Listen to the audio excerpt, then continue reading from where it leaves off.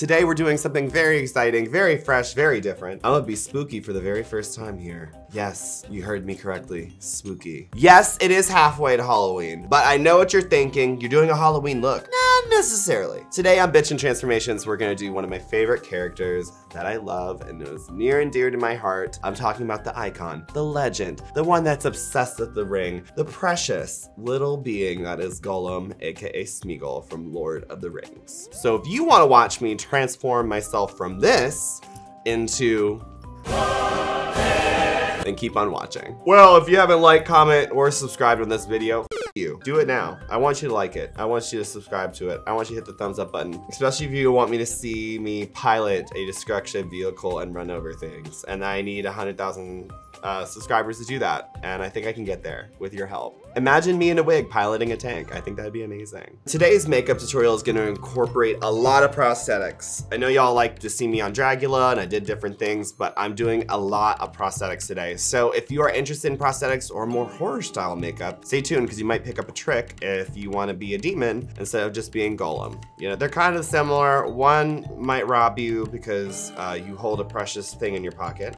Or uh, the other one might just be trying to steal your soul. You know, they're, they're similar but different at the same time. So first things first, you gotta shave. Gollum really doesn't have a beard and I currently don't have my mustache. Can we have a moment of silence for my mustache is no longer with us?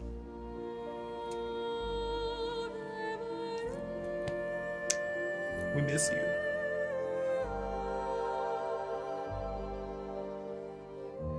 First things first, we gotta prep the skin. I'm gonna use some moisturizer and then a primer that works for my skin type, but use whatever works for you. And then I'm gonna make sure my hair is slicked back and ready for the bald cap. Now I'm using a bald cap that's gonna dissolve with acetone, but I'm gonna apply it using some spirit gum or KD151 hair wig glue. And then I'm also gonna use Pros-Aide in the process as well. Now we're applying the bald cap. We're gonna slip it on and make sure our edges are slicked back with some hairspray.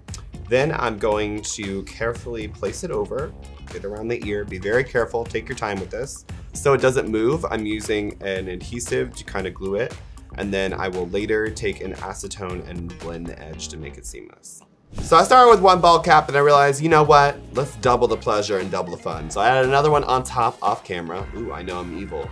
And now I'm gonna glue it down with some spirit gum and then I'm gonna dissolve the edges with some acetone before we go to our face prosthetic. Now I gotta glue down some prosthetics. This is gonna be fun. So I'm taking this eyebrow piece, I'm kind of mapping it on my face where I want. I decided to draw something and I was like, you know what? Okay, I'm just gonna wing it. So I'm taking some Pros-Aide, laying it down on the prosthetic before I apply it to my face. In hindsight, I just wished I used Spirit Gum, but I think it worked really good with the Pros-Aide. And then um, I'm also taking some Spirit Gum on the earpieces and tacking them on. Then I'm stacking some Pros-Aide on the outer edges just to try to make them as seamless as I can. If you have latex, that will work too. All right, now we're busting out the big guns. And by that mean an airbrush gun. I'm gonna load it in with a mixture of these four beautiful alcohol-based paints. And I'm gonna rub alcohol through the airbrush gun and we're just gonna spray all over my body to make sure we get even coats. It's best to work in sections. Take your time. It will take some layers, but you'll get it done. And you'll get a seamless, flawless finish. Then I'm going over with a chromatic color to give me some shine because I've been a slimy little bat goblin for my whole life. I'm going in with multiple colors with multiple palettes. I'm using an alcohol-based palette. I'm also using a bruise wheel and some eyeshadows. Whatever you got laying around the house will work. I'm darkening the inner corners of my ears as well as my eyes. I'm adding lines and more dimensions to my face because I've been an old, ugly hobbit and been stuck in the cave for decades, eons.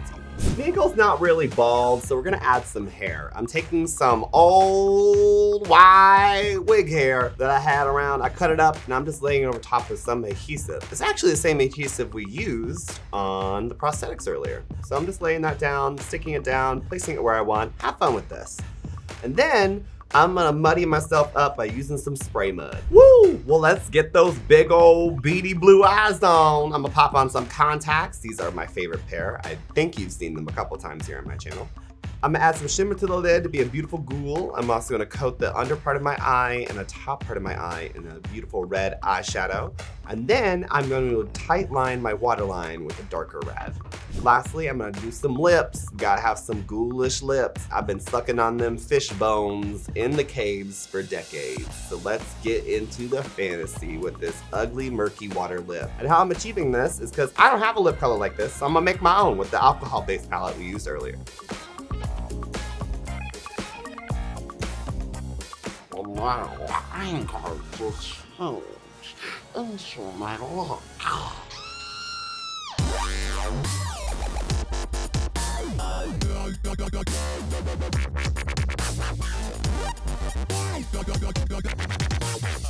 Well, if you like to... Uh, one second. well, if you like this video, make sure you like, comment, and subscribe. Otherwise, I will come find you. I know Precious knows where you are.